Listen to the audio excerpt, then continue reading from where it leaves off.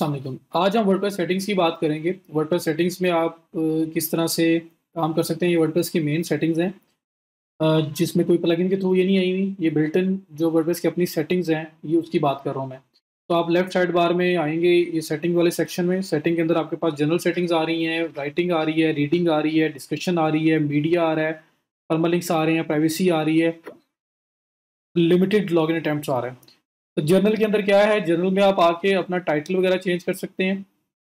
जैसे अभी अगर मैं आता हूँ तो यहाँ पे साइट टाइटल लिखा हुआ आ रहा है माई ब्लॉग और टैगलाइन लिखी हुई आ रही है जस्ट अनदर वर्डप्रेस वेबसाइट और अगर मैं अपने स्टोर को ओपन करूँ, अपनी वेबसाइट को ओपन करूँ तो आप देखिएगा कि उसके ऊपर जो टॉप यहाँ पे यहाँ पे भी आपको विजिबिलिटी उसकी नज़र आएगी, जो उसके टैब के अंदर लिखा हुआ नज़र आ रहा होगा तो यही लिखा हुआ आ रहा होगा my blog just another WordPress website तो आपने उसको थोड़ा बहुत एडिट करना है।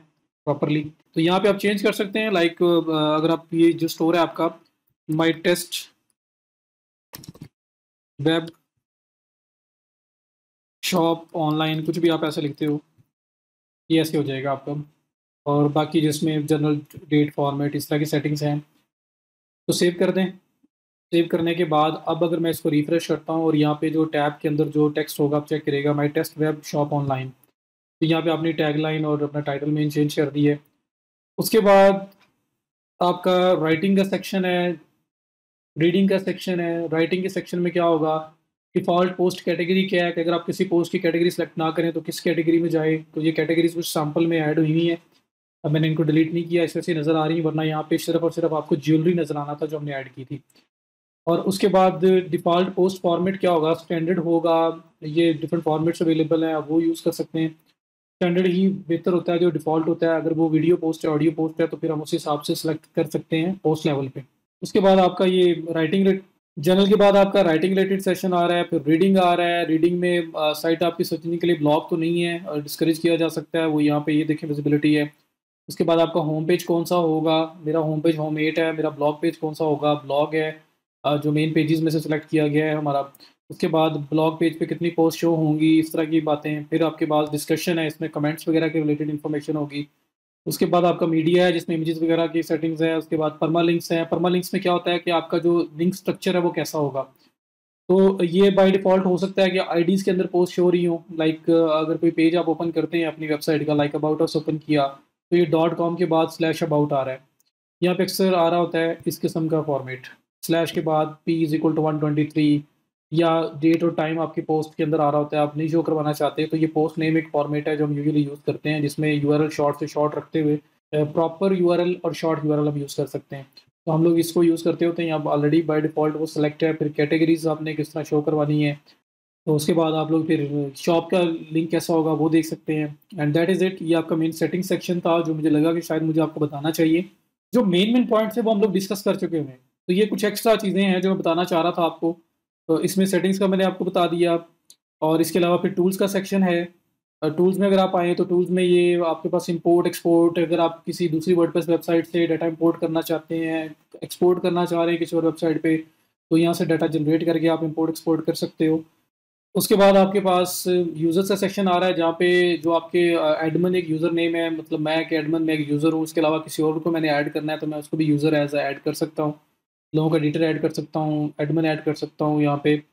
तो दैट इज़ ऑल मतलब ये आपको मैंने सिर्फ़ दिखाना था कि सेटिंग्स और टूल्स का सेक्शन भी है। तो अगर आप लोगों को लगे कि मैंने आप लोगों के साथ डिस्कस नहीं किया तो चले मैं उसको थोड़ा सा एक ओवरव्यू दे दूँ। तो वो मैंने आपको देने की कोशिश की है। और पेजेस की बात हो रही थी तो अगर आपने कॉन्टेक्ट पेज बनाना हो तो हम लोगों ने कॉन्टेक्ट फॉर्म सेवन जो है ना, वो इंस्टॉल की है। तो क्योंकि हम लोगों ने जब वर्डप्रेस इंस्टॉलेशन की थी और थीम को ऐड किया था तो बहुत सारे प्लगइन्स ऑलरेडी उन्होंने बोला था कि आप इनको इंस्टॉल करें एक्टिवेट करें, ये ज़रूरी है। तो उसमें कॉन्टेक्ट फॉर्म सेवन भी हो गया था। ना हो तो आपको करना पड़ेगा।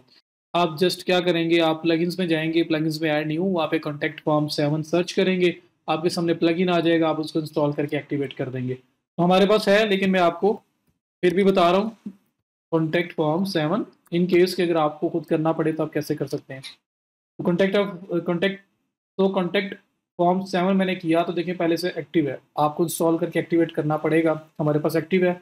ये वो कॉन्टैक्ट फॉर्म आ रहा है। तो आप इस पर कॉन्टैक्ट पे क्लिक करें कॉन्टैक्ट फॉर्म्स पे क्लिक करें, आपके पास जो कॉन्टैक्ट फॉर्म्स बने हुए हैं, जो डेमो में इम्पोर्ट होके आए हैं, वो नज़र आ जाएँगे। बाय डिफ़ॉल्ट अगर आप इंस्टॉल करते हो जब ये प्लगइन तो सिर्फ़ ये एक बाय डिफ़ॉल्ट बना हुआ आता है, ये वाला कॉन्टेक्ट फॉर्म बाकी ये जो आ रहे हैं, ये न्यूज़लेटर के एक्स्ट्रा बने हुए हैं, जो हमारे डेमो के साथ इम्पोर्ट होके आए हैं। तो अभी अगर आपको ये अपना स्टैंडर्ड कॉन्टैक्ट फॉर्म जो है, वो कॉन्टैक्ट पेज पे इम्बेड करना है तो कैसे करते हैं, उसके लिए आप क्या करेंगे आप पेजेस के सेक्शन में जाएँगे। मैं न्यू टैब में पेजेस ओपन कर लेता हूँ। ताकि आपको कॉन्टैक्ट पेज बनाना भी आ जाए, उसके ऊपर कॉन्टैक्ट फॉर्म भी डिस्प्ले करवाना आ जाए। वैसे तो ऑलरेडी हमारा डिस्प्ले होगा, क्योंकि हमने इम्पोर्ट किया है। लेकिन अगर आप खुद से फ्रेश साइट बना रहे हो, हर चीज़ खुद डेवलप कर रहे हो तो फिर आपको ऐड करना पड़ेगा। तो ये आपके पास कॉन्टेक्ट का जो है पेज आ रहा है, इस पर क्लिक करें, इसको ओपन करें। ये एलिमेंटर पे बना हुआ है। सिंपल एडिटर पे नहीं बना हुआ, गुटनबर्ग पे नहीं बना हुआ, एलिमेंटर पे बना हुआ है तो मैं आपको एलिमेंटर के थ्रू एडिट करके दिखा दूँगा। अगर सिंपल एडिटर हो तो उसके अंदर भी एडिट करके हम देख लेते हैं तो किसी भी वे से अगर आपको कॉन्टैक्ट फॉर्म ऐड करना पड़े तो आप कैसे कर सकते हैं, मैंने आपको वो बताना है। तो मैं बैक टू वर्ड एडिटर में अगर जाता हूँ और कंटिन्यू करता हूँ तो ये आपका जो मेन एडिटर है उसके अंदर इस तरह से ये डिस्प्ले होगा। ये कॉन्टैक्ट फॉर्म का कोड लगा हुआ है। तो ये कोड असल में आपका कॉन्टैक्ट फॉर्म डिस्प्ले करवाएगा।